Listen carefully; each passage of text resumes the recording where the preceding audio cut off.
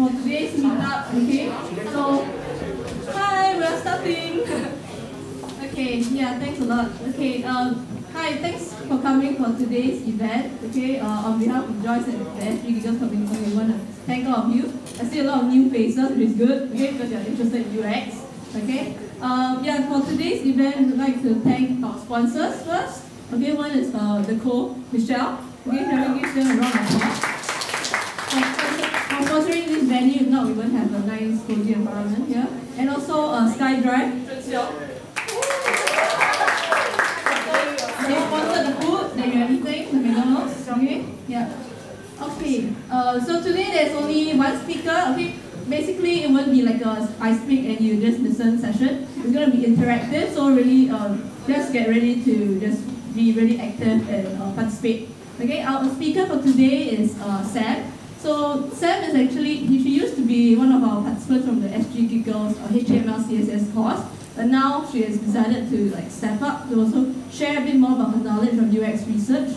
She's currently a UX researcher at uh, Guru, and also like one of my ex-colleagues, and she kind of like got me into the UX scene. So uh, there's really a lot to learn from her. Okay, uh, shall I probably before we actually start off with uh, Sam's program for today, maybe uh, Chun Seong might have something to share about SkyDrive first. Okay, so I'll just pass the mic over to Chun Seong. Okay, thank you. Hello everyone, I'm Chun Seong. I'm the technical evangelist for Windows Phone. So uh, SkyDrive is something that uh, I use but I don't really work on at work. Okay. So uh, to those of you unfamiliar with SkyDrive, it's a store, online storage uh, file system which allows you to store your pictures, your your uh, documents all into a single location. Okay, so today I'll just take five minutes to talk about SkyDrive. So just three functionalities about uh, storing photos, okay, talking about uh, OCR, optical character recognition, and the last thing I'll be talking about, I forgot what I'm talking Okay, never mind, you'll come back later. Okay, so uh, moving forward, okay, uh, what I like to do, uh, just share with you, I like to take pictures. Okay, uh, office, it's one of my hobby. Okay, so what I really like about SkyDrive is that, okay, uh, I have a Windows phone, definitely. Okay, I go for Microsoft or Windows phone. I have a really great camera phone. Shouldn't just start. Uh, what I like to do is that, uh, what I really love about SkyDrive is that whenever I take a picture, yeah, I'm going to take a picture of the audience now. Okay. Yeah, hi. Okay. Okay, uh, so I've taken a picture on my phone. Okay, what you will do is that you will auto synchronize onto SkyDrive. So I set up SkyDrive on my on my machine. Okay, so let me just close this off. If I go to mouse, mouse, mouse, mouse, mouse. Okay. If I go to my SkyDrive, okay, so this is my camera roll. If I do a refresh, I should be able to see uh, the image uh, auto synchronized onto the uh, SkyDrive itself. Okay. Okay. Yeah, so it's syncing. Uh, later we should. Okay. The second thing I really like about SkyDrive is how we organize photos. So uh, remember I like take a lot of photos, not just using a camera phone. I like to do film photography as well. Okay. So organizing photos is one of the difficulties we uh, usually have. Okay. So what SkyDrive does is that uh, what enables you to do is that it enables you to do geotagging, um, show show the location of where you have taken a picture. So I believe most of the smartphones we have nowadays will have a geotagging in the metadata, right? Okay. What it does is that let's say I've taken some pictures here and there, right? So today I've taken a picture here. What you do is that you show me the location of where these pictures are taken. So let's say you are traveling, you are going overseas, this is very useful. So example, if you want to uh, try to remember location of uh, where you have eaten a great food or uh, place where you have taken a really nice picture, okay, this will be very helpful. It will show you where exactly uh, on earth, okay, you have taken that picture. Okay. So third thing I'd like to talk about uh, about SkyDrive is that uh, the OCR hub. Okay. So uh, let's see. Okay, remember it's back to photography. Okay. Let's say uh, I've taken a few pictures previous uh, before uh, this event started. Okay. Uh, so let's say if I I've taken pictures of name cards. Okay. Organizing picture is, is it's not that easy, right? Okay. What this does is that every time I upload a picture on the SkyDrive, it will do automatic OCR for me. Okay. So let's say uh, let me try it out. Okay. I'll go and search. Okay uh, I've taken a picture of the slides of the previous speaker, okay, Samantha. So if I search for Samantha, You took a picture of me? I take a picture of the slide. It's not smart enough to recognize face yet. Yeah, it's Samantha. It should show the slide that that is belong that belongs to her. Uh, this does. Yeah. So these are the pictures I've taken as around 7 plus. It actually does OCR and recognize that Samantha is part is there. So it allows you to have a very different way of managing your photos in terms of chronological order, in, in terms of geotagging, and in terms of OCR. Okay. The last thing I'll speak about, okay, let me try to what Okay, remember. Right. So uh, SkyDrive is not just about storing pictures. You can store your information, all your documents as well. The one great thing about SkyDrive, okay, and finally, is that let's say you are working with your Word documents, your Excel documents, or PowerPoint documents. Okay. Open one of them. Let, let me see something to do. Okay. So we are having uh, download. We are having you to download these uh, files onto your machine. Okay, sometimes you might be overseas. Sometimes you might not have uh, Office installed on machine. Okay. What it does is that there's an Office online.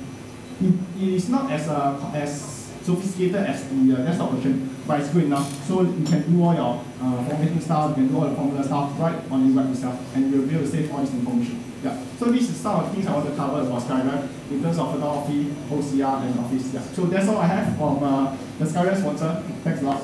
Yeah. Pass it over.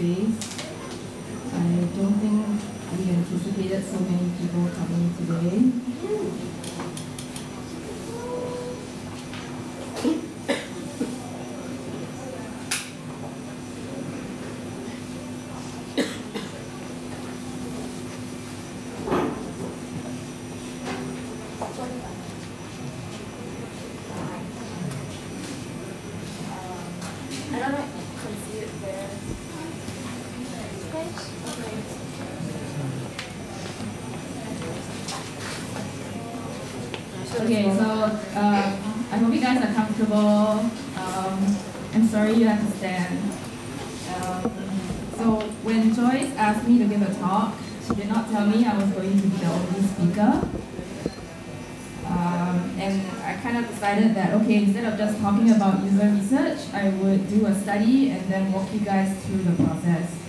Right, so by the time we confirmed everything, I only had 12 days, and I interviewed uh, 19 different UX practitioners. Can you all hear me at the back? Yeah, okay. So a bit about me, I actually went to hospitality school in RMIT, and then I did a year at front office at Mandarin Oriental. Uh, I liked doing the service part of the job. I hated smiling all the time, so I left.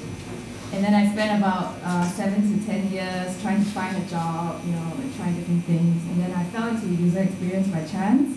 Uh, and my first job in UX was at Digital Boomerang. Digital Boomerang.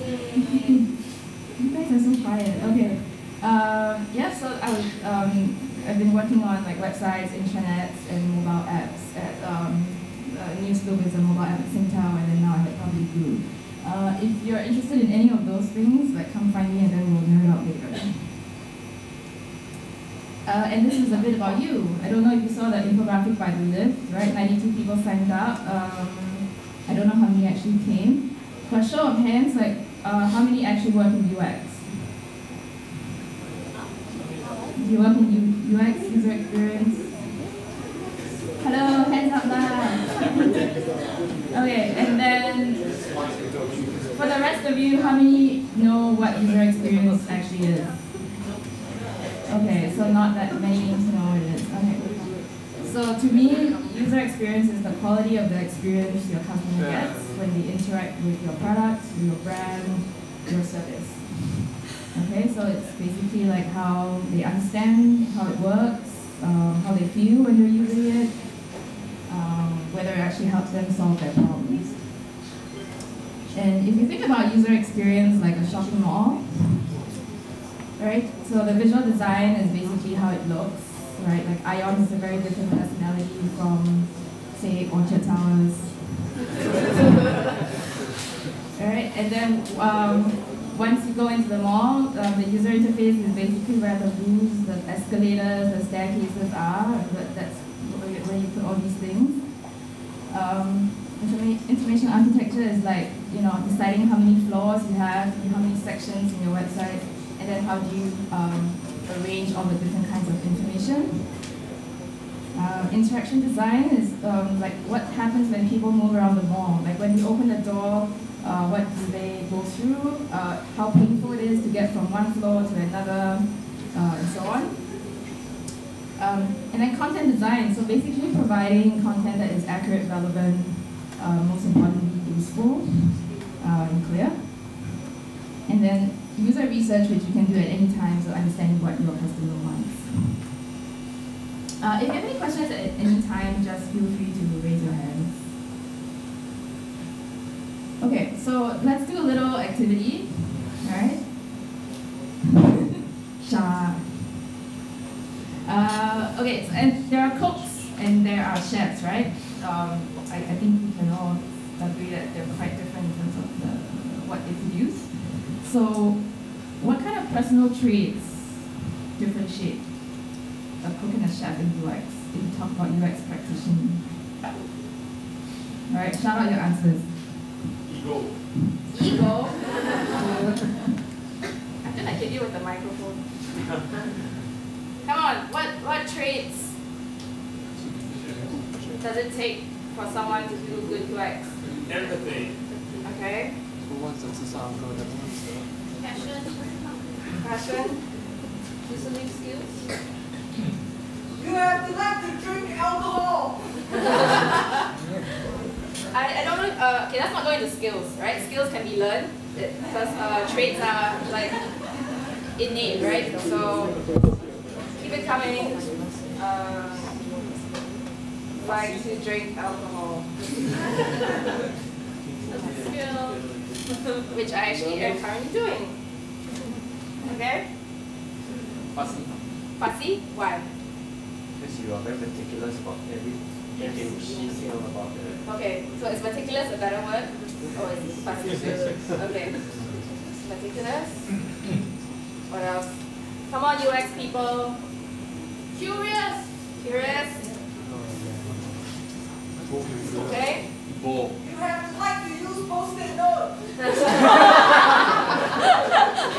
I'm ignoring you. okay. What else? Adventurous. Adventurous. Shut up, shut up. Be able to keep neutral. Open-minded. Okay. Planning, you need to be able to plan. Be able to plan. Okay. Focused. Okay. Be a good listener. I can actually write pretty fast, you know, so you don't have to slow down. Zen. Who said Zen? Me. Zen, what's Zen? Able to zone out. Oh, Zen. And just, okay. yeah, Zen. Is that like being calm? Or Just zoning out, being focused, being inside the zone, and just let the thoughts flow. okay. That's kind of like focus, right? Can I put it next to focus, or is it Similar. similar? Okay. Anything else? Receptive. Okay. Receptive. Kind of like open-minded. Yeah. Okay. Big picture person. Okay.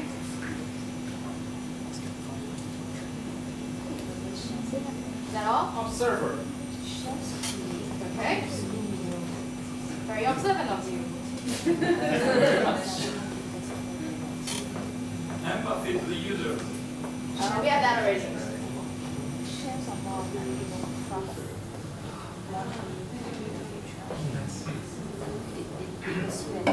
Anything else? Fine judgment. Great communicator. Okay. I think you guys are dried up. So let's try to rank this now. If you had to rank them, which traits are more important than the others?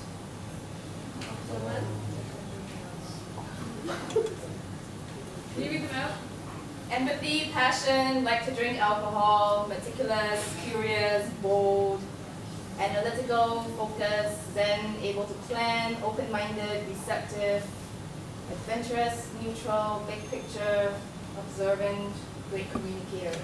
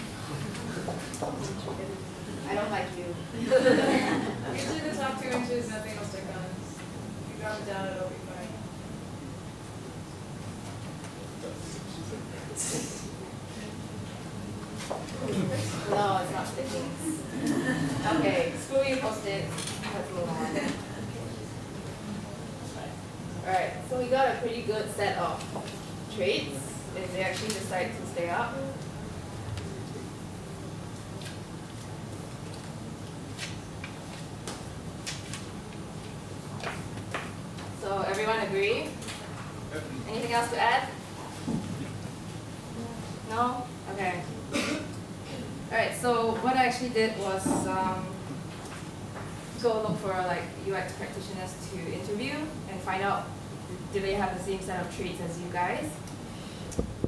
And these are the questions that I asked. Actually, I don't think the mic is working. So I usually prefer to have it as a, a structured discussion guide. Um, if you're familiar with Lean UX, they also use topic maps, right? So you can just write everything down, a bunch of post-its, and stick it on a piece of paper, and you, you can refer to it um, during your interview. Okay, so these are the people that I met in Singapore. Um, I've actually only met them once or twice during UXSG, and then I sent them an email and said like, hey, actually, would you be willing to help me? And they're all really very nice and helpful.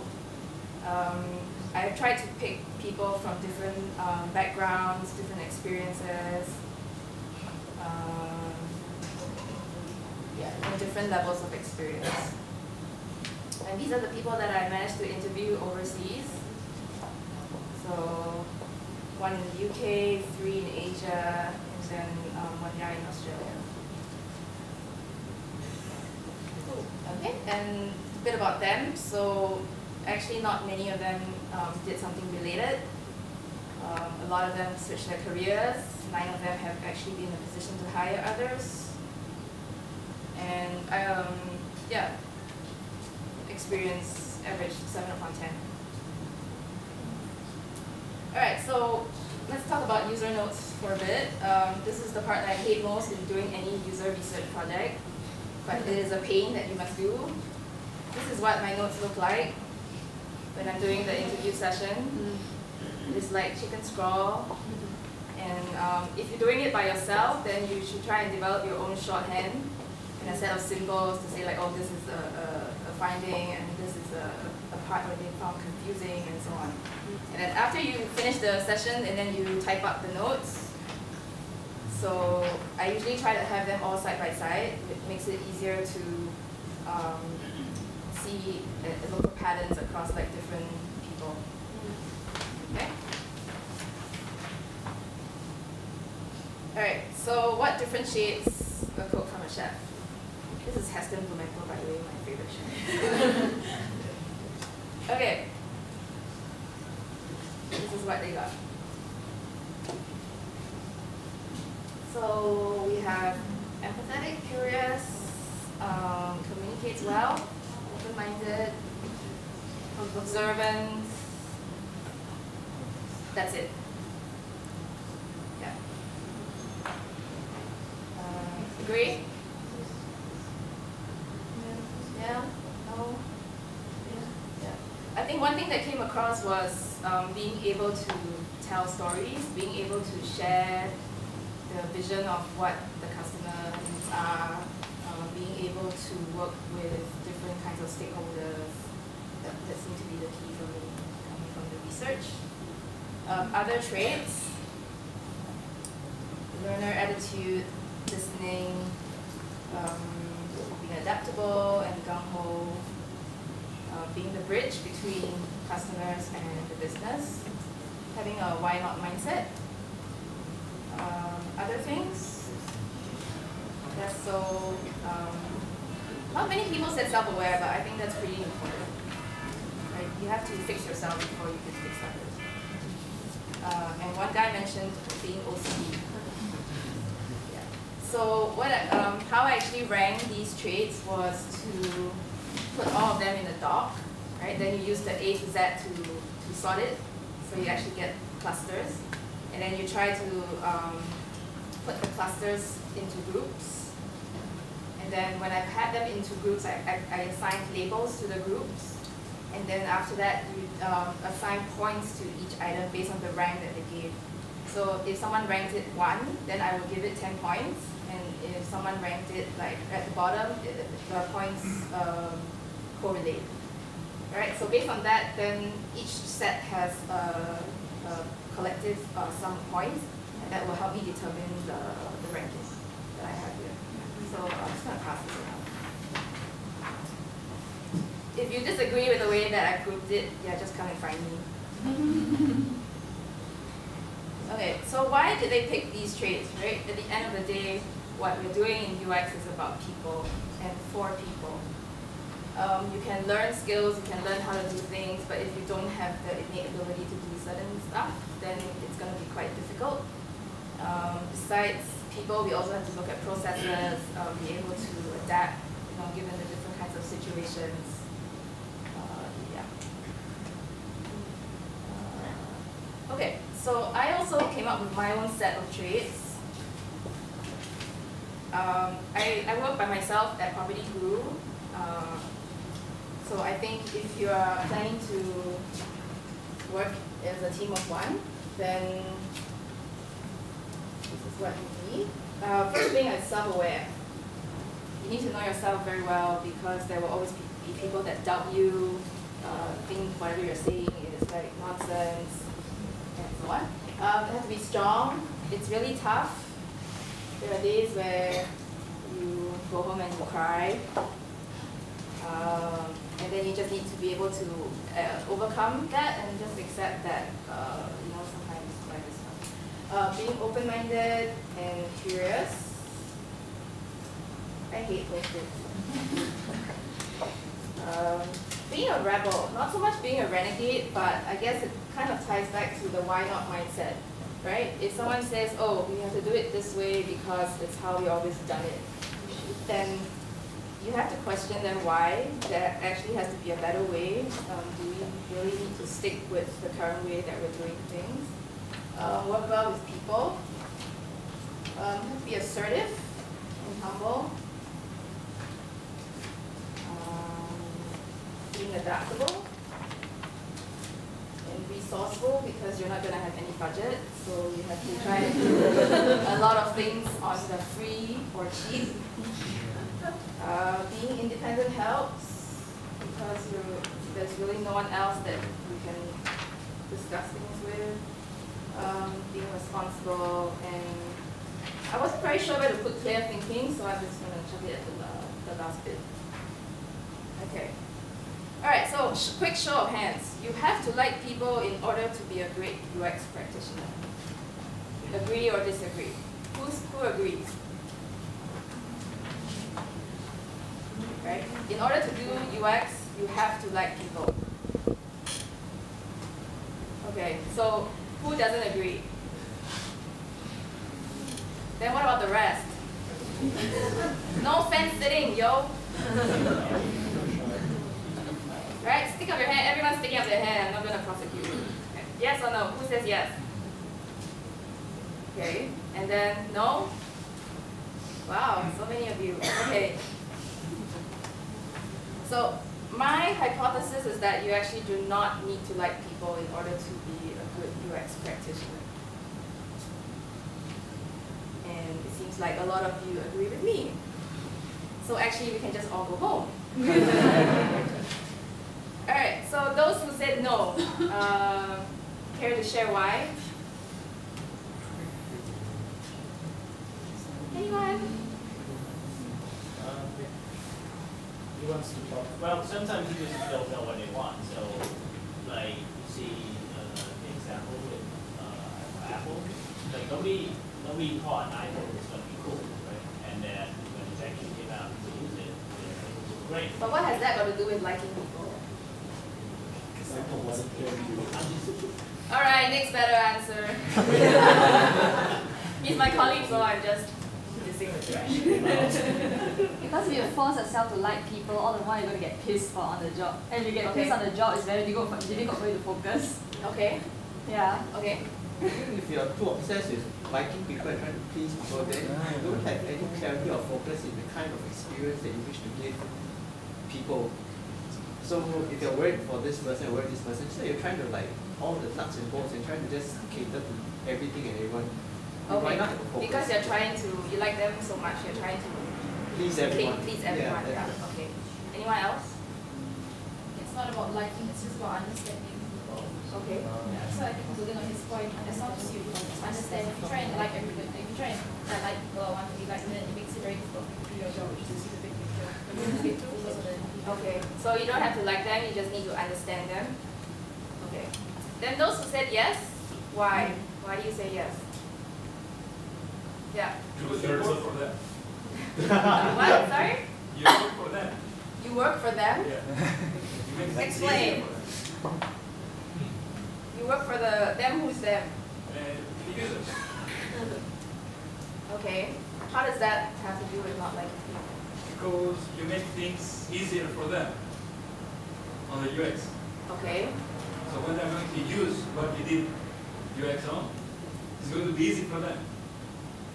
I still don't see the relation between whether you like them or not. You should obviously.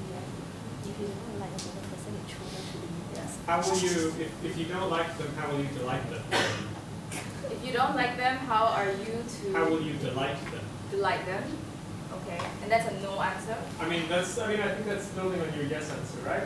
I mean, I don't, I don't think you do, but I think it's, you know, I don't think you need to like people, but, uh, but it, you know, makes it easier to, yeah, to see what people need, to see what they need, you don't need to like them. Uh, but you need to know what they love, uh, and that, Right. that's easier when you do like them. You know, I think the top two traits for great leaders are external was um, empathy and also curiosity. So if you don't even like someone to get how, why would I want to know how they feel? Why would I want to understand what they want to get out of this? Okay. So I think that's a really important driving factor. Alright, so it's hard to empathize with someone and be curious about your customers if you don't like people in general, right? That's pretty much how what's to say. Okay. Anyone else have anything to add? Okay. When when I say people who don't like people, what kind of person are you visualizing in your head? I think it's like uh, what I see is like a chocolate cake. It's like a, a chef that is making a chocolate cake, but Uh-huh. he hates chocolate cake. But it's still making a very good chocolate cake. Okay. You don't need to like chocolate cake to make a very good chocolate cake, right? Okay. I think it's else. you can try it. You don't have to get like people to trade for you. And so like, you like it? Oh yeah, maybe. Okay, you have a point. Right, there are people who take part in Top Chef who are vegetarians. They have to cook meat. Oh. Yeah. Okay. So going back to my question, when you think about people who don't like people, what do you think they're like? More reserved, more Reserved? they can be focused more in paying attention, not so much like in talking or being sociable. They might sit on the corner just observing, Okay. could fit into the.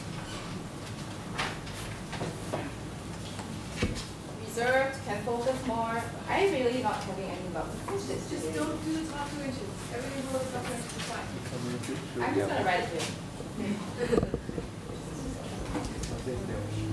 I tried the corner trick, Lisa, it didn't work.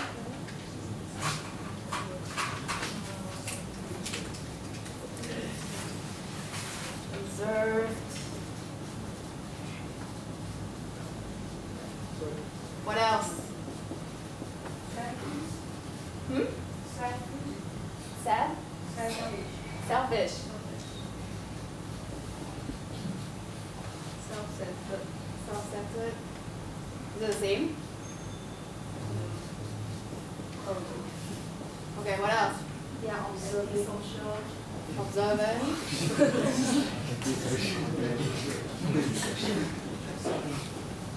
okay.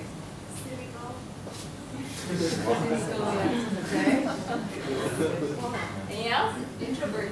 Yeah.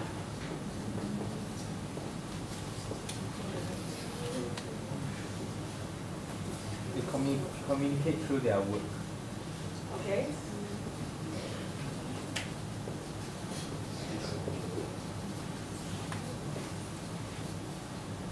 So it's kind of starting to look like this.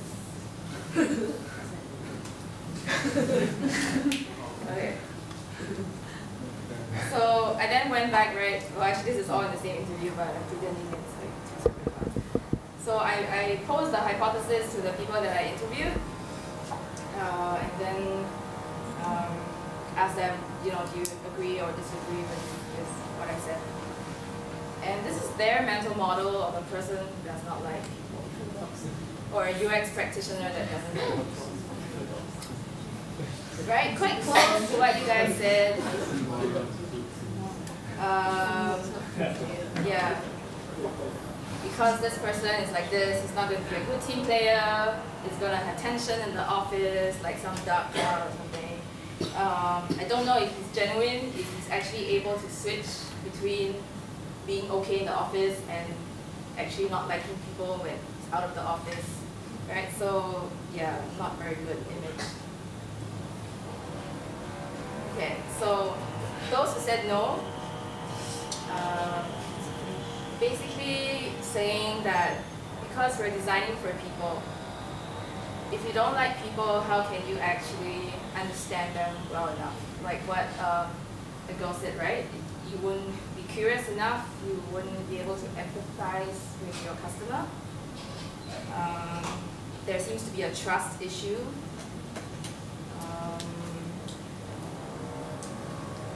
yeah, so generally just like if you don't like people, then you will not be able to understand them well enough.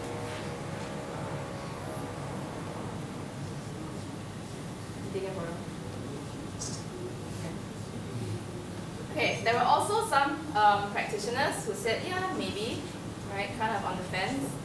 Um, you, yes, you can do UX if you're like this, but your work was is not going to be good enough.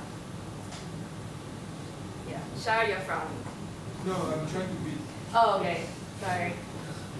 Um, yeah, so because of that that mental barrier that you have between you and people, um, you might not really actually do a, a good job in understanding them, but you can still do certain aspects of UX. Uh, you wouldn't actually go the extra mile and push hard for changes that will actually make um, customers' life better. Okay. Um, and then there were actually also quite a number of people who said yes. Uh, like what my colleague Louis said, not all chefs have to love eating. Right? You don't have to like chocolate in order to make chocolate cake. Um, and then I think the what most of them are saying is like it's very different between liking someone and actually being able to understand them. They're not linked. Right? You can you can do that and still be able to understand their pain points, um, their journeys and their behaviors and so on. Um, ultimately, UX is about solving problems, right? It's not about liking people or not.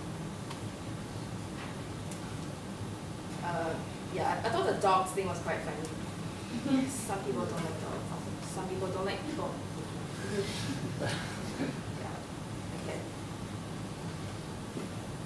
So, I I actually went out and hunted down some people who don't like people, now referred to as PWDLP, um, who work in UX.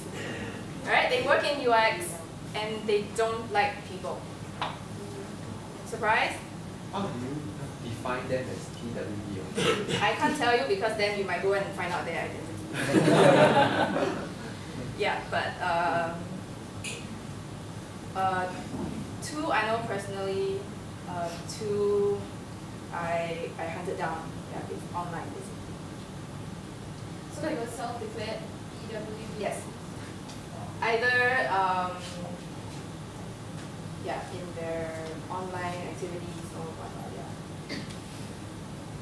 So these are the questions that I asked. Um, basically, because we only have 30 minutes to chat, you know, you can't really go very in depth into the discussion, so um, that's about it. So two guys, uh, two people in Singapore and two people in America. Unfortunately, the one of the American girls kind of bailed out on me. I was very upset. Maybe like she said she was actually very happy to do the interview, but then she kept bailing out and she said she was sick. Um, and this went on for like two weeks. So yeah, I would have really loved to meet her uh, and talk to her. All right, so um, you can see that they've actually been in UX or, or they're actually the research field for quite some time. Okay, so why do I not like people? Everyone lies. The story they're saying about themselves is just delusional, it doesn't make sense. Um, we can't say I love design because it's narcissistic, so I say that I like people. Okay, next one. Um, pedestrian taste, the shit they like or dislike is so stupid. Predictable, boring, don't stop to think, worst of all, inconsiderate. Okay? The last one finds them tiring, conversation is mundane, rather sit in silence. But because people are insulted if you don't reciprocate, then they try to put all these labels on you and say you're antisocial and whatnot. Right? Like, yeah. Okay, and then um, why do you work in UX? Why do you continue to remain in UX? Uh, actually care about mentoring my team. Uh, I really enjoy solving the puzzles in UX. And I'm fascinated by human behavior and the human mind. I do not see what this has got to do with not liking people.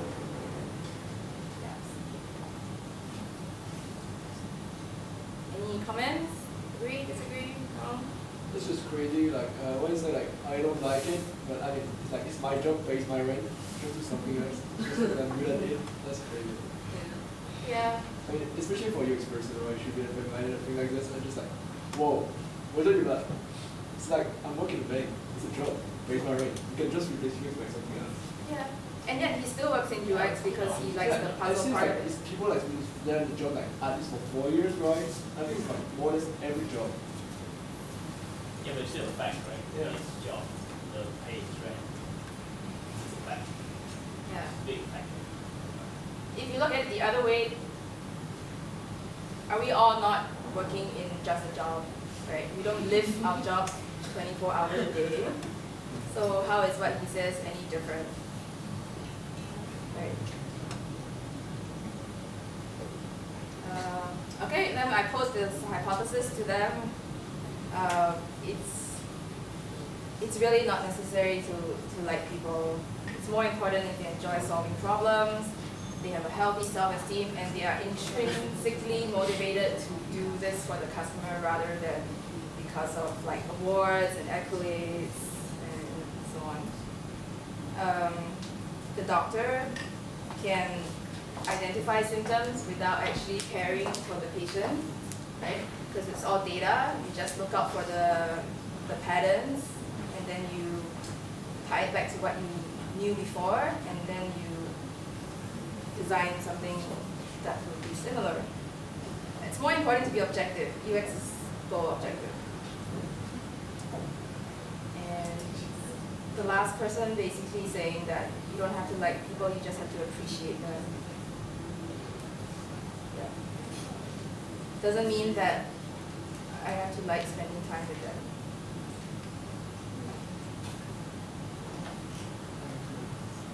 Hmm, You guys are pretty quiet. I guess you all agree with it. Okay, question then. So Yeah. the top two, right, Yeah. are both goal-oriented problem solvers, Okay. which is good. Okay. Uh, but I mean, how do you practice your craft then? Do you, are you a hill climber? Are you optimizing towards a certain goal? Are you optimizing for conversion rate? Is that, you know, is that your measure? Or are you thinking about, again, the converse, you know, how do we delight our users if we delight them, they'll keep coming back? Um, what one of these two um, people said, it's like playing Super Mario. Alright, in Super Mario you have to get from point A all the way to point B and in between there's a bunch of shit that you have to avoid. And that's basically how he's seeing each UX project. It's like a game and there's all these different um, constraints and challenges and then how can I apply my skills and then actually make this better for, for the customer. Better for the customer or better for reaching the goal? Well, You know, there's lots of evil kind of UX, right, which is converts massively, Mm-hmm. uh, but you know doesn't make it nice. So Yeah. But he, uh, he does um, like actually testing and, and stuff. So. oh no, I, I think it's bad for testing, but then like if you test, you know, how do you, you know, how is your experience, or you just go check the numbers, they don't lie. Numbers are up, up with the right. Mm. Numbers in what sense? Numbers are like, uh, you know, conversion rate raised, I mean, so we implemented this change, we had a conversion rate of 1.5%, we raised it to 5%, uh, that's gonna be X million dollars, job done, half days. Right? Doesn't Right. mean, you know, that's a good, you know, that's job well done, uh, but it doesn't necessarily mean you are empathetic or why it's working, just that it is, you know, we removed some barriers, great stuff. Um, you don't need to necessarily like people to do that. That's true, but then wouldn't you say that being able to do that is also part of what the problem was? Uh, No, I, I, I mean, I'm, I'm seeing both sides to, Yeah. to the, and I'm, ju- I'm just wondering if the empathetic, the people who say have to like people, have to have empathy, will use a different toolkit than the people who say uh, don't like people. Right. Because it- they might just go back to the numbers. Go back to numbers and, and just very analytically based and very kind of goal oriented. I'm not saying that's wrong, but uh, but it's just two you know two different ways to reach a to reach a goal. I can't answer that. If I get a chance to talk to this person again, I'll let you know. Very. Okay. So, do you think that after hearing from all these um, different groups of people, the hypothesis is actually feasible? Yes? No? Like, Maybe. maybe, maybe it's not. Yeah. You didn't stop them from answering me. That's true. Alright, I'm going to uh, introduce this guy to you. His name is Bronislaw Malinowski. Right, he's the founder of social anthropology, he's British, and he did this, um, his first study was to go to this island for three years, and then basically studied the life there. And his study has been praised for being very um, neutral, um, neutral is in one of the traits. Alright? But when he died, his wife discovered his secret diaries. And his secret diaries actually talk about hate towards these islanders. Right? They're like brutes. I hate them, but yet I lust after them. Uh, and, and all kinds of things. So the fact that he was actually able to be this way and yet come up with a study that was very neutral ground, I think says quite a lot. Um, he has said that the diaries are actually his own private conversation and that allows him to kind of um, develop his, his um, character and maybe th- that was his own way of ironing out his thoughts. Right? But the fact remains that he actually doesn't really like the people that he studied. Um, so I just have a couple of closing thoughts. Um, liking people is a choice. It doesn't uh, mean that they can't understand human behavior, and doesn't mean that they can't understand how to solve people's problems. Um, one of the practitioners that I interviewed said that it could be good because they see all the shortcomings in um, the world and then they have a stronger passion to make it better. Uh, it's more important for the practitioner to be interested in people rather than liking people, being objective and balancing um, business needs. Like what um, you said, right? If you really like people, you might just go all the, the other way. Um, multiple roles. Like we all have different roles that we play, right? At work, we're a certain role. When we go home, we're a different role. Um, how is it any less genuine if we happen to not like people? Uh, one of the practitioners that I was talking to mentioned this. Like usually, when people think of like identity, we see a tree, right? And you only ever have like one core identity but actually, we could be more like uh, rhizomes or ginger. So ginger grows in the ground and it's like bulbs connected to bulbs connected to bulbs, right? And at different points in your life, certain um, connections between the bulbs will be stronger. And then sometimes the connections may break off, but and then depending on where your life takes you, those connections might resurface again. Right? So it doesn't mean that because we don't like people, are not able to do all these other things. And lastly, if being open-minded is a top trait, then um, shouldn't we be open-minded about having different kinds of personalities and minds in this field? Yeah. Yes? Yes. Yay! Alright, another poll. So who thinks it's okay that you don't have to let people know? Pedro, I can see. Yeah, show of hands. So, yes, you have to like people in order to be great UX. really? No? I see some people shaking their heads. Why?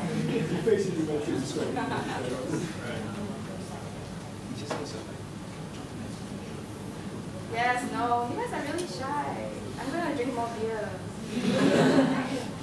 Maybe it should be us drinking beer. Sorry, BY was rude. Alright. Alright. So here are some research tips. Um, I don't think they're anything new from what you can find out there, but um, yes. So when you have your discussion guide or your topic map, don't try to follow it exactly how you plan because depending on what the other person says, you will have to jump questions very quickly and then bring them back to what you intended to ask for. Uh, whether you use a guide or a topic map, just choose something that's comfortable for you. Um, when you're asking questions, so like never throw, never explain how things work. If the participant is asking you, what do you mean? You ask them back, what do you think it means? Okay. Um, what does this button do? What do you think the button does? And so on. And then five W's and one H, like people in journalism will probably be familiar, like who, what, where, when, and what, where, when, why, why, and how. Yeah? Uh, I do all my user research alone because I'm alone, um, but if you can, try to pair up with someone so that you can type the notes. If you're typing, don't censor. Um, just type whatever, uh, whatever the person is saying, right? Type first, think later. Your, your job is to record everything that the, the person is saying. If you are by yourself, um, just try and develop your own shorthand and write very fast. And then also after each session, just write down uh, the top level things because these things will help you to identify patterns much quicker uh, later on Okay. interview notes I've covered, um, synthesizing, so just look for patterns, don't take things at face value based on what they say. Um, keep in mind culture, so like something um, that's popular in Singapore may not be in Malaysia or Indonesia. Okay, and then um, just prepare a clear uh, presentation. For audio, don't expect to record audio? Yeah. Because of people or because of resource constraints? Or you Could be know? both, like maybe your phone battery died or the person is not comfortable being recorded, so don't go in there relying on being able to record. Um, okay, so in Asia, which is something that I learned when I joined Property Guru, there's this thing called retrospective, which happens every two weeks, I think, uh, after a sprint. So this is what um, my hours are like working on this um, whole study. And then there's also this other thing called the good, the bad, and the ugly. So the good is that the UX community is really helpful. Yay! uh, I, I learned a lot of new stuff which I'm still trying to digest, like neurobiology and yeah, I, I don't know. Um, I so like for bad, I think maybe I tried to interview too many people in that short amount of time, um, and a bit too focused on quality over conversation. Um, I actually found it quite uncomfortable talking to the people who don't like people. one was quite intimidating, and the other one, like I felt like punching his face. um, yeah. And then of course the, the, the girl didn't show up. And then trying to do this whole thing on my Mac on 11 inch screen is like, yeah. Uh, okay, so thanks, thanks to everyone listed here. Uh, couldn't have done it without you. I'd also like to dedicate this slide to the three women who have um, played a very big role in my life. Um, the end.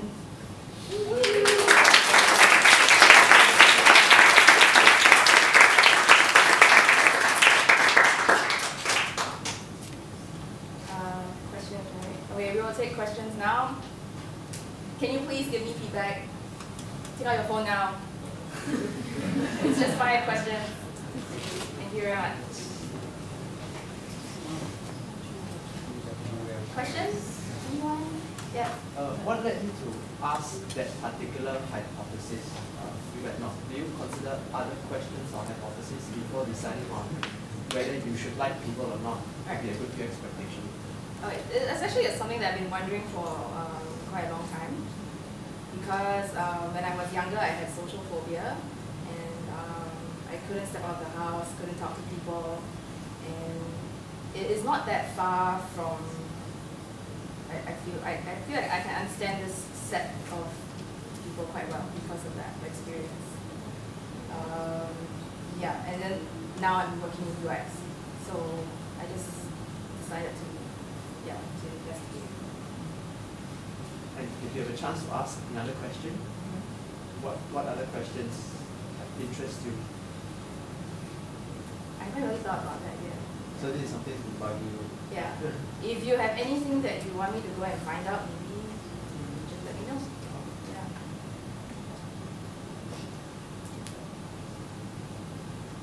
I'm curious, so for your hypothesis, what spectrum of not liking people do you think? So for example, there are people who aggressively hate other people because our people are stupid, people don't know what they want, that sort of thing, or is it just people who are shy? I didn't really define it to the people that I was interviewing. I kept it very open and they, they just came back with how they perceive these kind of people to be. Okay, so um, I had the slide of the mental model, right? So that's basically how they visualize such people. Um, on the other hand, during the conversations, they will also um, kind of understand like, okay, if, if someone really hated people to the core, they probably wouldn't be good at UX. If um, they just didn't like people on a very wide sense, you know, like not liking the human race versus um, not liking, I mean, they still have friends and all that, but they just think that the human race has done very stupid things, and therefore I do not like uh, the. So, yeah, keep it very open.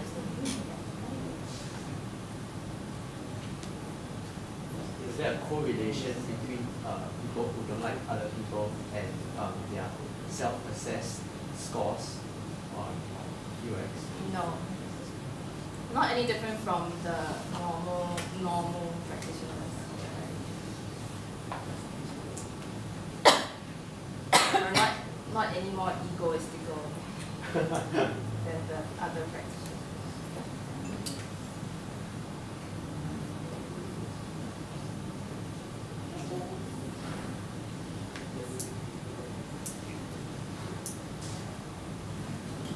There were some parts in the interview where they said that UX is, uh, was goal objective. You, know, you solve things by extending certain data points uh, and come to that conclusion.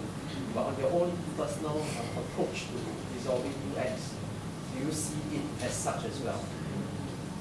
Can you repeat the question? Sorry. No. Um, so he said that earlier on someone mentioned like UX is goal objective. Um, and do I actually see it as the same way, right? Yeah. Hmm. I don't think there is an end point to whatever we do. It's not like you finish something and then you dust it, you know, leave it to to grow and whatnot. You have to all constantly go back and then s- check if whatever you're doing is working. If not working, then you experiment and try ways to to see if it improves. Um, if it is working, there will always be something else that you can improve on. So I don't think that the, to say that the goal objective being like the end point and that's it, it- yeah. It's, it's an ongoing. Yeah. So I, I think the sample size I noticed that you had someone from Australia, America, and so on, do you think, or and some Singaporeans as well. Do you see, or do you think that there might have been any difference in terms of cultural background, like when people were sort of giving their feedback or their responses, do you think their cultural backgrounds change their Okay, so our question is, um, because like, there's only few, so few people from overseas or?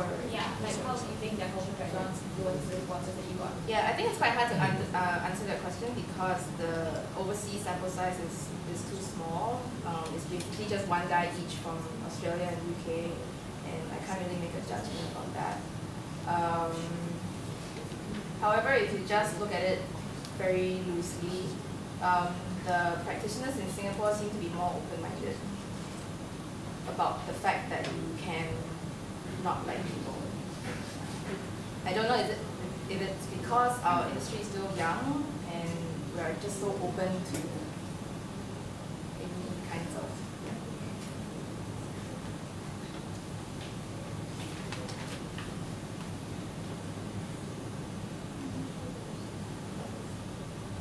Yes. You never answered the question whether you like people or not. Ah. But nobody okay. asked that question. Hmm? Nobody asked that question. Okay, let me ask you a question. Okay. Tell me, do you Um, like people or not? I think the the answer is more of fear.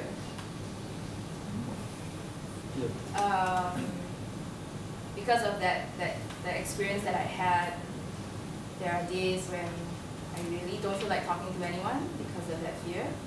Um, there are also days when I find that the human race is indeed quite stupid and, and has made a lot of uh, really dumb decisions. And whatever is coming, uh, we, we yeah, it's totally our fault. Yeah. Yeah, does that answer your question? It does. Okay.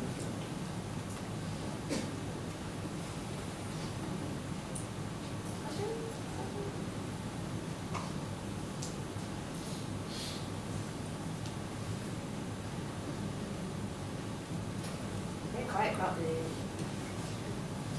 Okay, if there's no more questions, then we're going to end off. Um, two commercial messages. Clean and Green Hackathon um, happening tomorrow. If you want to sign up, just go to that website. There is a Geek Girls code that you can enter to waive off the deposit. And then um, David Travis, one of the guys that I interviewed, actually runs UX training. Uh, you can go to Udemy and, and check it out. Uh, one of them is on offer until today, which I assume is tomorrow Thank you.